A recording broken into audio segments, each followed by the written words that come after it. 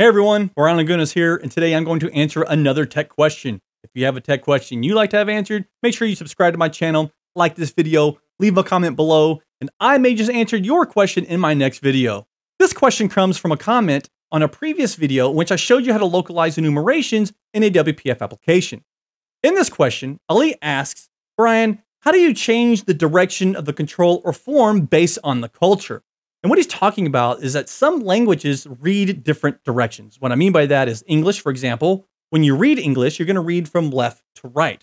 But some languages, such as Arabic, you will actually read from right to left. So in your application, if your user is running on an Arabic system, how do you ensure that your application respects the direction of their language and all the content will now flow right to left?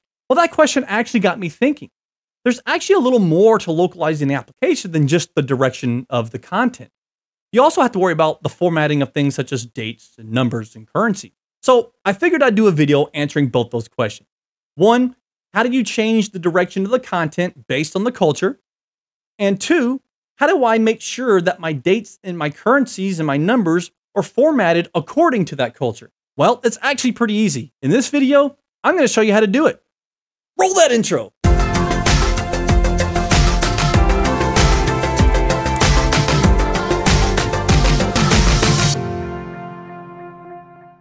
The application I'm working with today is a simple WPF.NET Core 3 application.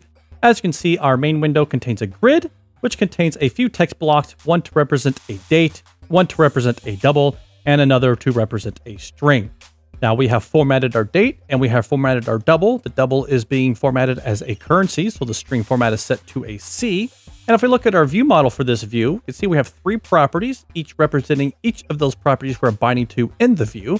We have our date, our double, and our string, and we are simply setting those to just some default values. If we look at our app.xaml.cs, we can see that we are overriding the on startup, we are setting the culture info to Japanese, and we're setting both the current culture and the current UI culture to our culture info. Let's run the application and see what happens. Here's the application running. And as you can see, not much really looks different. Uh, nothing is localized into Japanese. Everything is in English. And really, it's not respecting the culture info we just set. So what we want to do is we want to modify our code to support localization for formatting of dates, currencies, and a flow direction of our text. So let's go ahead and do that now.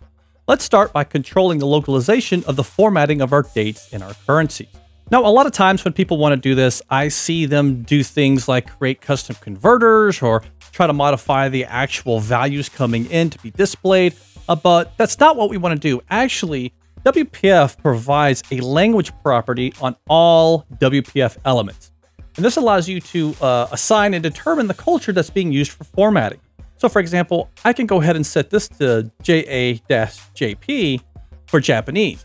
And I could do the same thing for our double here. We'll set our language equals to JA-JP. And as you can see, our date and our currency is now properly formatted to represent the culture of JA-JP. Well, adding these to each control would kind of suck. I mean, you might have a lot of controls, and we really don't want to do that. One option would be to place this language property on the window object itself, and then all controls within the window would inherit the value of that property because the language property is actually inherited by all its children. Well, this is okay, but there's a better approach because there's an issue with this. Not only would we have to add this language property to every single dialog window in our application, but right now we're hard coding it. So we would have to come up with a way to kind of dynamically set this at runtime based on some type of setting, most likely the user system. So instead of doing that, we're going to take the much simpler approach. Let's go into the app.xaml.cs we're going to take advantage of a feature of WPF, which allows you to override the metadata or default values of properties. Now to do this, we're going to start by typing framework element dot and then the name of the property. In this case, it's going to be that language property. This is the dependency property for the language. And then we're going to set override metadata. This is going to be type of framework element.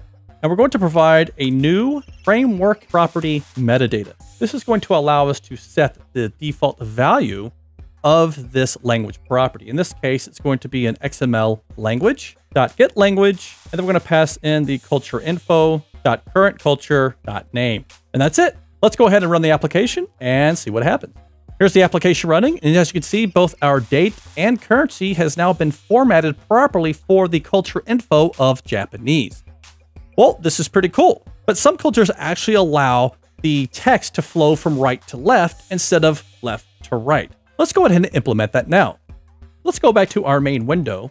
As you can see, by default, all of our content is actually flowing left to right. That's the default behavior for all content in WPF.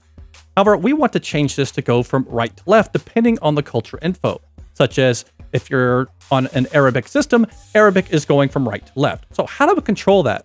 Well, similar to the language property, uh, each control actually has what's called a flow direction. And this allows you to set the content flow from left to right or right to left. So I'll set this from right to left. I can see that the text of the currency has now been switched from right to left the dollar sign has been put on the right-hand side of the currency. And this is kind of the same approach to localizing your language, except we are localizing the flow direction. Now, very similar to the language property, uh, this would not be very fun to do if you had to set this on every single control. And like the language property, I can also set this at the top most parent, which in this case is the window. But once again, we don't want to set this for every window or dialog in our application, and we don't want to hard code this. This is going to depend on the culture info of the application. So let's go ahead and delete this now. And we're going to take the same approach that we took with the language property, except we're going to use the actual flow direction property instead. So let's go ahead and do that now. We'll say framework element dot flow direction property override metadata type of framework element, new framework element property metadata, and then our default value. This is where we need to get our value. Now, we don't want to hard code this value. We need to set this value based on the culture info that the system has received. So to do that, let's actually create a property called flow direction. And we're actually going to check the culture info dot current UI culture dot text info dot is right to left. So if this is right to left, we want to return flow direction dot right to left. If it's not right to left, we want to return flow direction dot left to right. Now we can simply provide the flow direction as our default value. Let's go ahead and run the application and see what happens.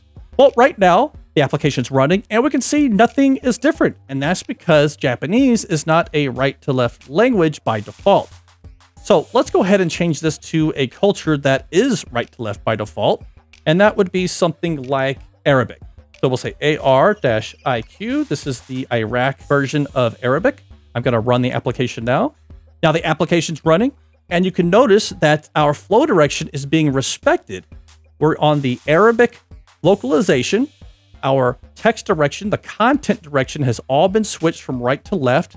All of our dates and currencies have now been properly formatted based on the Arabic language. And even look at the window itself. The close button, the minimize, maximize buttons now on the left-hand side, the title and the icons now on the right-hand side.